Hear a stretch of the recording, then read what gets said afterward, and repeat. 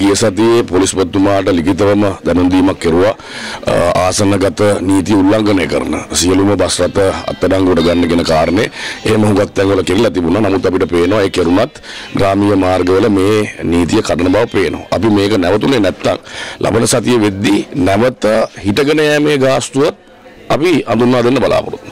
එතකොට මගේ කොට පුළුවන් ආසනයක් නැතිනම් අඩුමතරමේ නීතිය කරන එක කෙසේ වෙතත් හිටගෙන යනවා නම් අඩුමතරමේ ඒ ගාස්තුව විතරක්වත් ගෙවන්න පුළුවන් තත්වයට අපි පත් කරන්න කල්පනා කරගෙන ඉන්නවා. ඉතින් බස් හිමියොන්ට බැරි නම් අපි එයාට ගැන ඉතාම සානුකම්පිතව කල්පනා කරලා සැලකිය යුතු මිල වැඩි කිරීමක් අපි ලබලා දුන්නා. රටේ පවතින තත්ත්වය අනුව.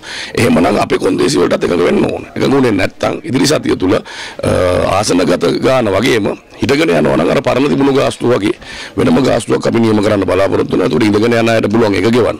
හිටගෙන යන අයට පුළුවන් ඒ ගාස්තුව ගෙවන්න. එතකොට ආය අපි ගාවට ඇවිල්ලා ඒක වෙනස් කරන්න කිව්වට අපි වෙනස් කරන්න බලාපොරොත්තු වෙන්නේ නැහැ. නෑ කිසිම සැලැස්මක් නැහැ. ඉතින් එතුමා ඉතින් එහෙම සැලැස්මක් නැහැ. කොහෙවත් සැලසුම් කරන්න දෙයක්වත් නැහැ. කොමිෂන් වාර්තාවේ කරුණු ඉතාම පැහැදිලිව සඳහන් කරලා තියෙනවා. ජනාධිපතිවරයෙක් අත්අඩංගුවට ගන්න හැකියාවක් ඇත්තේ නැති බව සිදුනා දන්නවා. නමුත් අඩුමතරමේ ජනතාවට මේ පරීක්ෂණ අනුව සත්‍ය අනාවරණය කර යුතුයි. පරීක්ෂණය 100%ක් ඉවර නැහැ.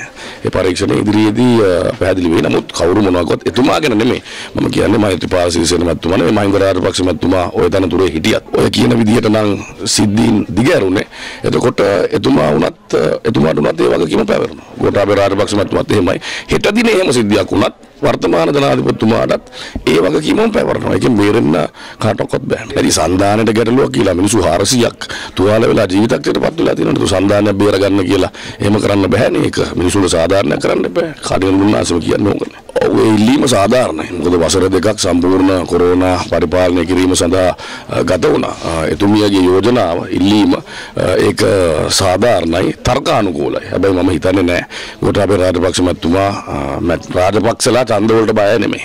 දිනන්න හරි පරදින්න ඡන්ද වලට යනවා. ඒ නිසා තමයි මහින්ද රාජපක්ෂ මැතිතුමා අවුරුදු දෙකකට කලින් ඡන්දයකට ගිහිල්ලත් වැරදුනේ.